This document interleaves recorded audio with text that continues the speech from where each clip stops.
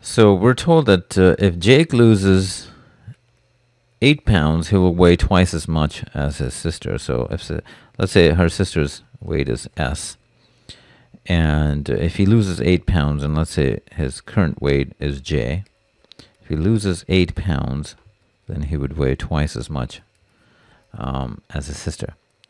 So that's the translation of that relationship. Now we're told that they together they now weigh 278 pounds, which means J plus S is 278. Question is, what is Jake's present weight? So really two equations, two unknowns. Um, we can replace S here in terms of J, and I'm going to substitute that here because I'm interested in solving for J. So it's 2 times 278 minus J. 2 times uh, 278 would be, let me just do the multiplication,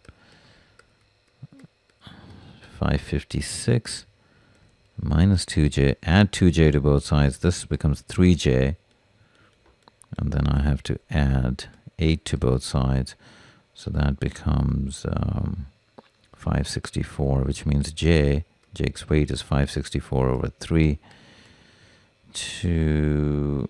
288 pounds, which is answer choice E.